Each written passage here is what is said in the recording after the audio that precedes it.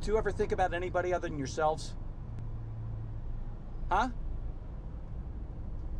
Say something, Jake. Say something! One of the hardest things to realize when you're a child is that your parents are people too. You understand that?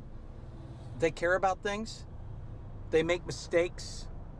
That they try to do what they think is the right thing to do. Does any of what I'm saying make any sense to you? what's so funny, Tony? Huh? Why don't you tell me what's so funny, Tony? You think you got it in you to be an actor? Take one rejection after another. We'll see how you react when you don't get into LaGuardia. We'll just see then. Brian. Damn it!